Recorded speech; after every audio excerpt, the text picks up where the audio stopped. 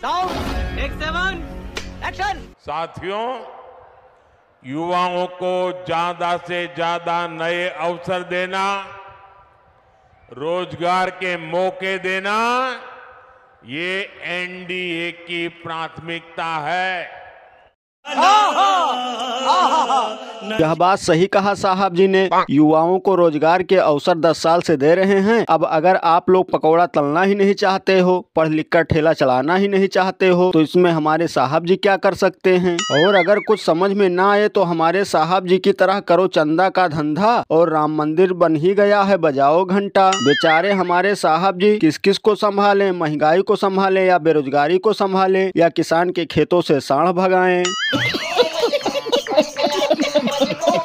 इस समय अभी हमारे साहब जी गेहूँ काटने में व्यस्त हैं, इतनी कड़कड़ाती धूप में ये लंच करते हैं तो थोड़ा सा झूठ का भाषण बोल देते हैं, ताकि किसी को पता न चले कि साहब जी गेहूँ भी काटते हैं। वैसे इस समय हमारे साहब जी को अभी रोज़गार की बात नहीं करनी चाहिए, इस समय हिंदू, मुस्लिम और मंगल सूत्र पर बात करनी चाहिए। विकास बेरोजगारी महँगाई अभी ज़रूरी नहीं है, और घनघोर बेजती करते हुए कुछ लोग कहते हैं, लोग हाथी घोड़ा पाल कर उतना नहीं कमा पाते हैं, जितना अडानी अंबानी ने एक गधा पाल कर कमा लिया है। सबसे मस्त रोज़गार दिया है साहब जी ने।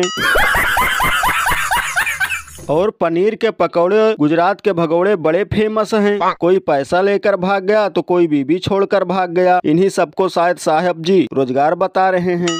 मणिपुर एक साल से जल रहा है वहाँ स्त्रियों को नंगा घुमाया गया। पहलवान बेटियों को रोड पर घसीटा गया। किसानों के रास्ते में नुकीले कील लगवाया गया। और तो और जहाँ इनकी डबल इंजन की सरकार है वहाँ आदिवासी के मुँह पर मूता गया। हमारे साहब जी के हिसाब से यही सब रोज़गार है। यही है साहब जी का खेल। इसीलिए कर्मचारियों के पेपर में होता है खेल और युवाओं का निकल जाता है तेल। गजब बेचती है। यही है इन नेता लोगों का रोज़गार। नहीं किसी चौराहे पर बेचते पानी के बतासे दस के चार। और नहीं हो पाता विदेश घूमना न पहन पाते लाखों का सूट। फिर जुमला फेंकना और झूठ बोलना भी जाता छूट।